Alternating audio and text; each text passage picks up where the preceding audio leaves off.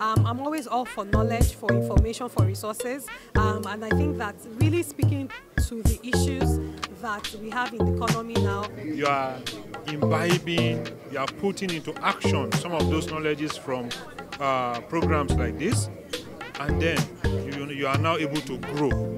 This is not just one of the talk shows that people organize around. It's impactful. We're breaking out into sessions. We are taking people, organizations that are here present to evaluate and monitor what they are doing and see how we can positively affect them. I spent a while in uh, Japan understudying the Toyota production system. And uh, it will amaze you to know that the Japanese almost do not have any natural resources. But in Nigeria, anywhere you dig, you find something. I hope you know that water can be a natural resource. If you don't think so, go to the desert and find out. and what you have is that even though they do not have that, they're still one of the biggest exporters. They import raw materials.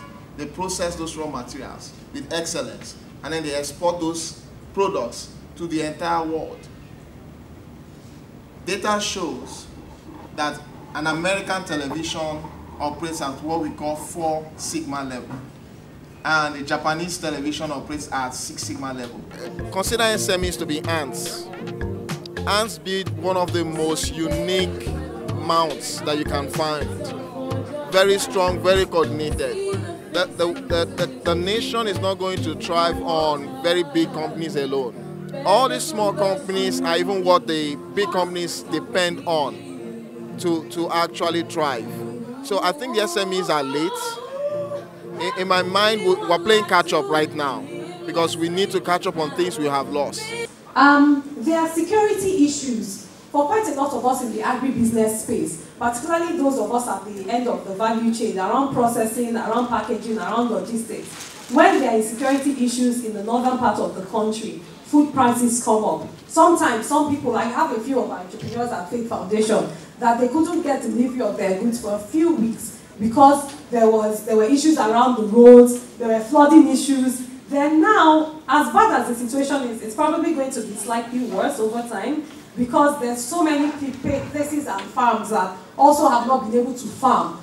So every time things happen, and I'll talk about that later, it can be security issues, it can be environmental issues. So there'll be flooding in some parts of the north. Um, we're all very aware that the economy has contracted. Uh, we recently came out of a contract um, of, of a recession, and things have really, really been difficult in the business environment. And um, what I really spoke about was how a micro, small, or medium enterprise can, despite the environment, still grow, still scale, still expand their businesses by doing things that they should be doing efficiently.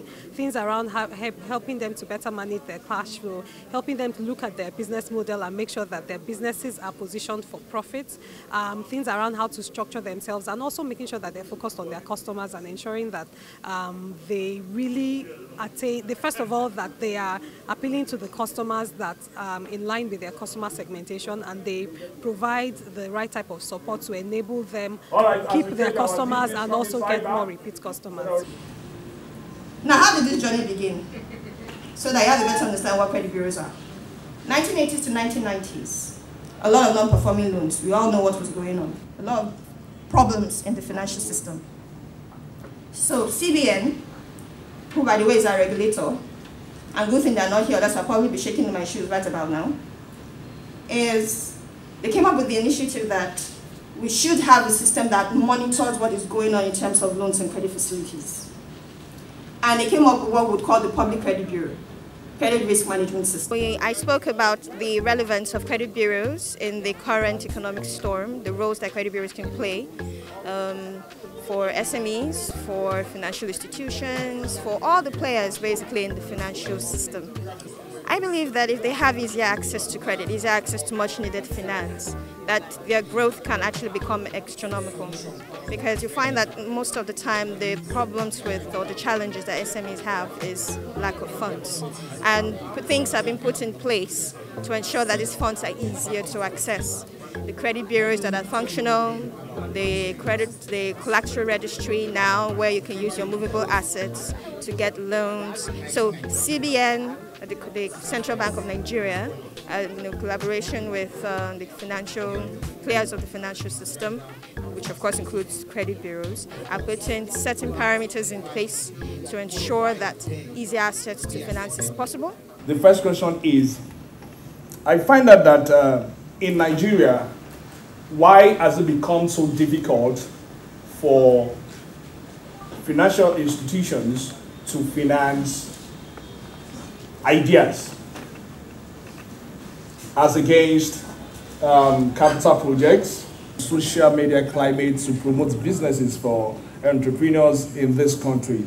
Um, for example, uh, will it be easy for a farmer as well to use social media to promote his uh, our businesses?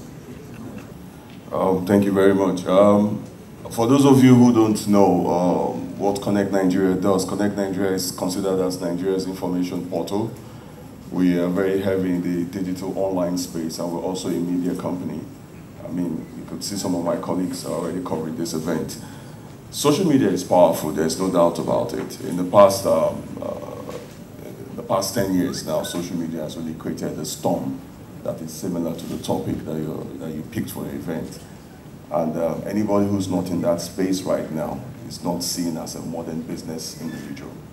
Be you, be you a, a financial institution, a farmer, a medical practitioner, a legal practitioner, a carpenter, a fashion designer, a hairstylist, regardless of the kind of business you do, if you're not on social media, you're not getting yourself ready for the future. It's it's open. For the of this, it's um, open. It's open, so yes. members can actually meet Connect Nigeria yes, now. You come to us to now showcase their products on your program. Yes, okay. you come to us. You tell us what you do. If it's something laudable, if, it, if it's something we feel the general society will benefit from, we do many of them practically free of charge.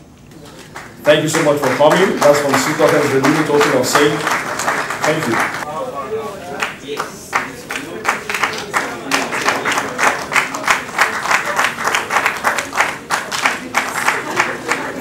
For me, you do not, for those youths out there, you don't throw away ideas because there is no money or because of their hard facts. You need to think big, start one, and start now. Far you are there, you need to discipline yourself. You need to learn, unlearn, and relearn again to adapt, you know, into a changing environment, use of social media, use of technology, and, and boom, your business is, before you know it, persistence is the key. And that is what we give you. You have to keep the focus focused. Looking for a business? Log on to connectnigeria.com. If you like the video you just watched and want more, subscribe now. To watch more videos, click on Watch More Videos